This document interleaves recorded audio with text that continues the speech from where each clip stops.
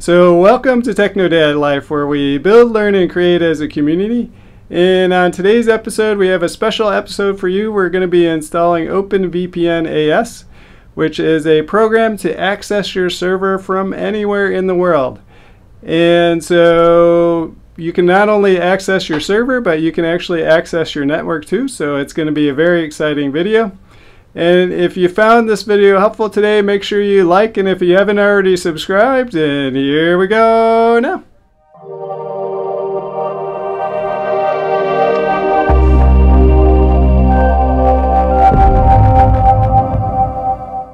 And a special thanks to all my patrons who, without your support, this channel would not be possible.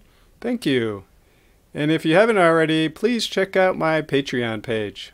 Okay, so let's get started. So first thing we need to do is go to Shell in the Box or PuTTY. We're going to log in, roots, and our server password.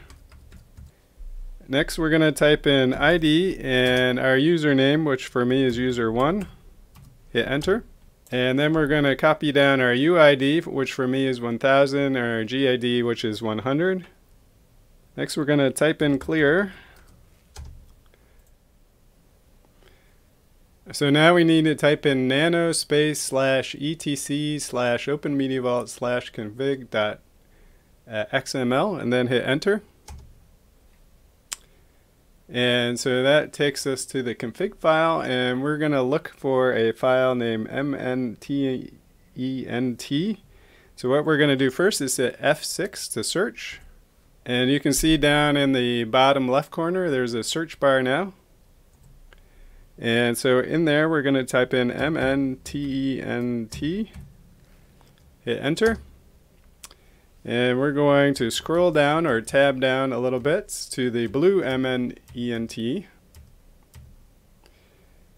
And so we're going to go to this section where it says ops and we're going to go over to where it says no exec and we're going to delete that. So tab over to no exec, put your cursor on the end and then hit the delete key. That's all we need to do. And now we're going to hit control X and then Y to save and then enter. So next we're going to type in omv-mk config space f tab, then hit enter. And now we're going to X out of that.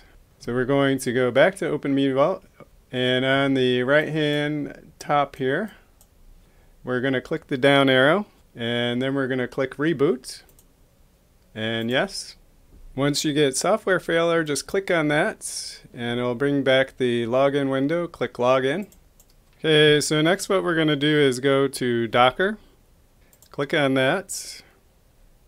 And we're going to type in Linux server or just OpenVPN AS. And here it is the second one, Linux server OpenVPN AS. We're going to click on that. Click the info page Scroll down and two things to notice. One is this is only for x86 64 architecture. There is no ARM version of this. Next, these this is the data that we're going to be adding into our Docker. So next we're going to click Start. Once that's done, click Close. And then before we start uh, the OpenVPN AS image, we're going to go to our shared folder on our server. Go to app data. We're going to create a new folder called OpenVPN AS. And then once we've done that, we can close that. Now we're going to click on OpenVPN AS, run image. Container name is OpenVPN AS. Restart policy is always. We're going to leave it in bridge mode. We're going to expose 1194, 943, and 9443. Hit the plus sign after each one of those. We're going to scroll down to environmental variables, type in PUID, For us, that was 1000. Hit the plus sign. PG ID. 100. Hit the plus sign. We're going to type in TZ for time zone, which for me is America slash New York. Hit the plus sign. Next we're going to type in interface. And we're going to type in ETH0 for our Ethernet adapter. And we do this because we're in bridged bridge networking. Then hit the plus sign. now we're going to go con container path. Hit slash and config. Go to shared folders. And then app data. And then there's our OpenVPN AS folder. Click OK. Hit the plus sign. Next we're going to go to extra arguments and we're going to type in dash dash cap dash add equals net underscore admin. So next what we're going to do is go over to our router and click on advanced settings and then port forwarding. The first thing we want to do is put in our local server address. Next we want to do internal port to external port. So 1194 to 1194. And we want this to be UDP. And then click New. And then Save. And then we're going to go down to Save. Press, and press Save. So next we want to copy our IP address. Next what we want to do is type in https colon slash slash your IP address and then colon 943 in admin and then hit enter. And when we do that, we'll come to this page. Your connection is not private. Click on advanced and then proceed. And here we're at the admin login. So the default admin name is admin and the default password is password. And then sign in and agree. Okay, so the first thing that we're going to be doing is changing two things, our server name and also our ports for our VPN. So we're going to go over to the left-hand side, click on click configuration, and then click on network settings. And so for your host name or IP address, we want to use a outside accessible address. So uh, either one that's assigned from your IP server or uh, we're going to be using one from DuckDNS. And so in this instance, uh, my host name is going to be tdllife.duckdns.org. We want that to, if it's not already highlighted, listen in all ports.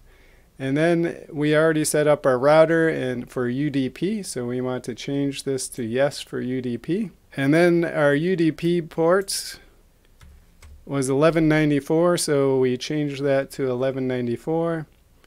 And then we scroll down and everything else is okay. So we're going to click Save Settings, then Update Server, and then hit Refresh if this happens, and continue and log back in as admin and password. And now when we look at our server name, now we have our server DuckDNS address there. And our VPN port has changed to uh, UDP 1194. So those are okay. So next we're going to create a user. So we're going to go to user management, user permissions, and so we're going to add in a username, pick whatever you want. Mine is going to be Jeff. And we're going to make me admin and then also allow auto login. And so what this means is when we do this and we download the OpenVPN file for our computer or our phone or our tablet, that it can also be logged in automatically, or you can also still use a password.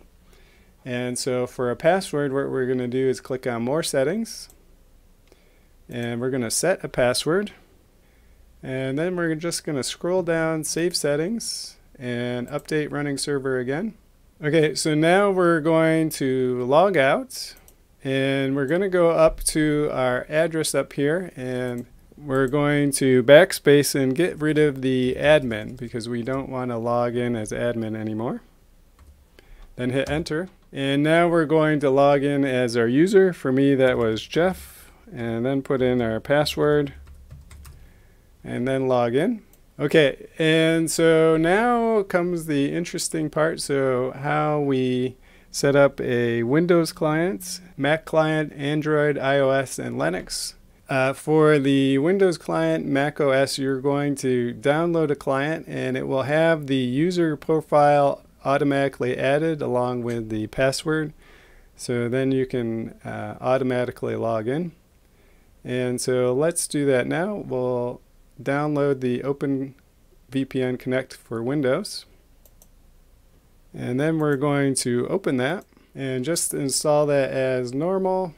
If we look down here in the bottom right corner, now there's an Open VPN uh, Connect there.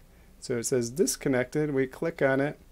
There is our DuckDNS site. And if we go to it, go to DuckDNS. We can't connect to the server. That's because it is on the same network. To actually check this, you have to have your computer on a different network. Uh, but that is how you download the clients and uh, you would just connect that and once you do that then you can actually also put a uh, virtual drive on your Windows. Uh, what we're going to do next is show you how to do it on an iPhone since that's the easiest way to check it or actually uh, on the iPad that will be easier to see and it will be connected through uh, my iPhone. Uh, but before that what we're going to do is download one of these two things. So these are connection profiles that can be downloaded. So one is yourself with a locked profile where you have to log in each time. The other one is an auto login profile. And so we're going to download the auto login profile. So I'm going to email that to myself so we'll be easily able to add that in uh, a VPN file into the OpenVPN. Okay, so first thing we're going to do is go to our iPad and go to the OpenVPN client and download that. So on our iPad, search for OpenVPN Connect and then download that. Once that's done, open that and we're going to click OpenVPN Profile, then agree.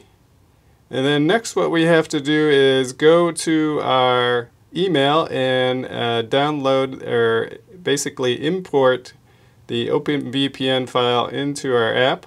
And so here we have the email. We're just going to tap to download. And then we're going to tap that again. And when we do that, the open copy to OpenVPN will come up. We're going to tap that. And then we're going to add the profile.